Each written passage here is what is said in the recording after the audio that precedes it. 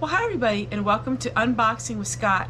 Today we are going to review the Essential Oil Diffuser that has all different colors. Let's open it up out of the box.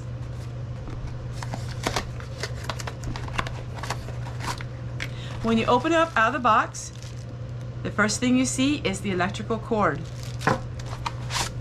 It has seven different lights, colors of light, and it's noiseless. There is no noise to this.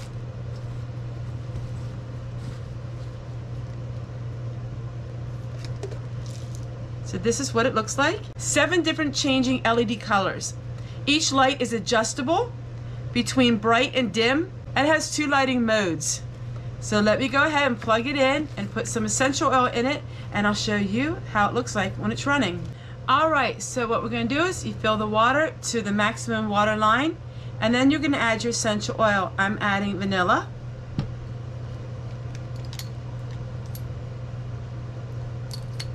Then you're going to put the top back on it, just like this, and put it into place. Now we're going to go ahead and plug it in.